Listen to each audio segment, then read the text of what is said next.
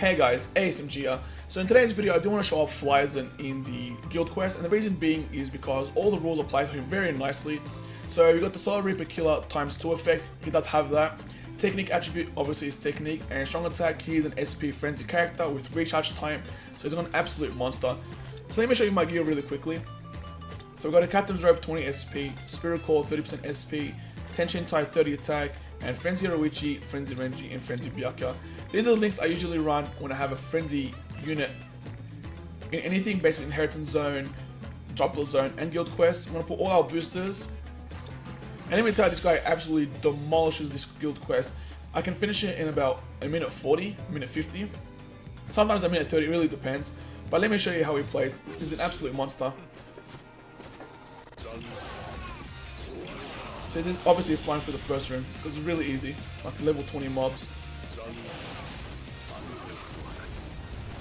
But the good thing is, is that his burst is really, really nice as well. Since I have CDR because of the links and his CDR, I basically have like infinite burst. And just one shot the boss. We're gonna need that soul bomb because he can basically destroy destroy a one room by himself.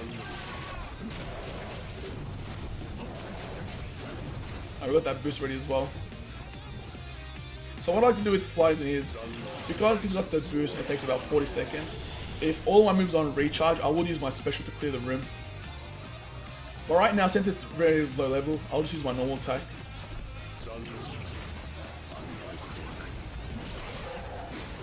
So unfortunately we did get hit.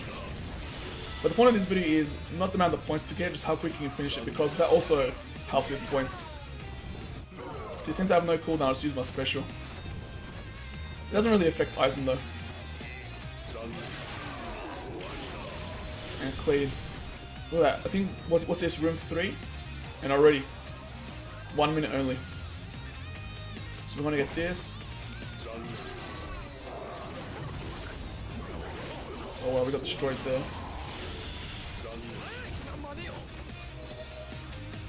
There you go, stage 4. We still got 2 minutes. Like, that's how clear this guy is.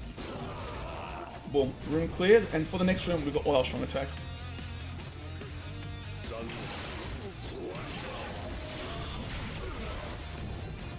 There we go, now we got 2 as well.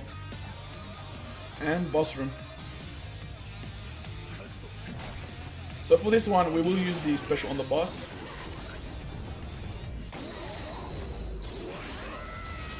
Should use a normal attack, but oh well. Look at that, room 5, 1 minute 30.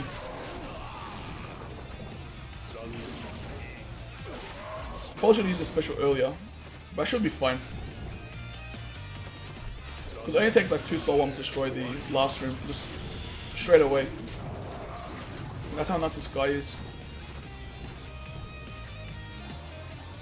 And this is the best part. So we have like 1 minute 15 left, and we spam the special done. That's with no friends as well, so no help whatsoever. I will do a second run. Hopefully we can optimize and we can also get some friends too. 1 minute 46, really nice. Definitely an S rank. Hopefully we get some decent rewards. And they're okay except for the coins. Alright, we're 401st. So we're gonna do it again. For all my boosters. And this is the way I like to do my guild quests as well. If my main character I'm using isn't part of the bonus, it's sad, but regardless, I'll put two characters from the bonus, even though I won't use them, it just gives me that extra points. I think it is 2,000 points per special character, or the bonus character. I think it's 2,000 points. But let's do it again. I've seen other people get much uh, quicker runs than me. Um, some people have used the Fullbring Ichigo, some people have used Tensa. Apparently Tensa is really good as well because he got the Soul Reaper Killer too. And I believe he also has CDR. But like I said, this is the first room, so it's really easy. I am planning to invest some potions into Flyzen as well.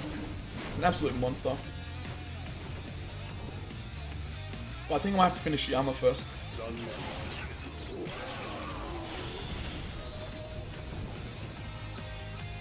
But let me know what your builds are and what points you're getting. I know some people might be on top of others just because of luck, because of the if you join other people's rooms. Oh, I didn't realize I killed Kaname.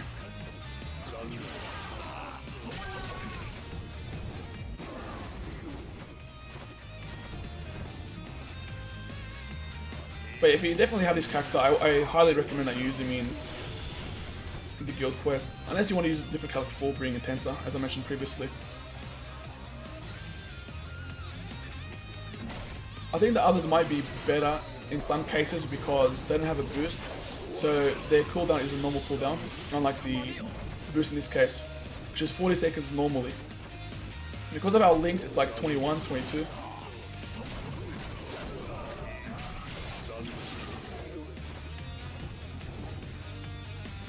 But I feel like these are getting easier easier. Or maybe it's just like due to the RNG of the rules and stuff. But I feel like this one's been the easiest so far. I believe we have three soul bombs too, so I should use one now.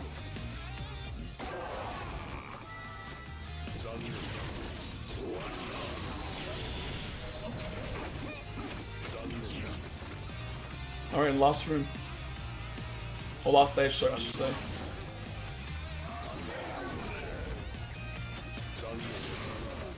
So I will use my special here.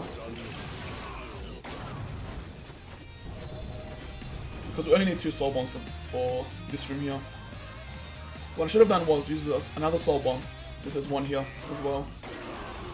And there you go, 1 minute 13 left on the clock.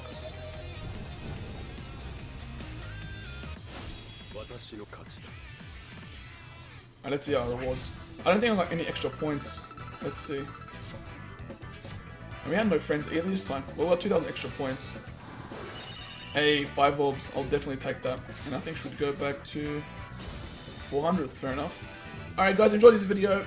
Like and subscribe for more Bleach Brave Souls content, and I'll be putting more videos about what builds I use for the guild quest, what characters, as well as the droplet zone and inheritance zone. Enjoy the rest of your day, guys.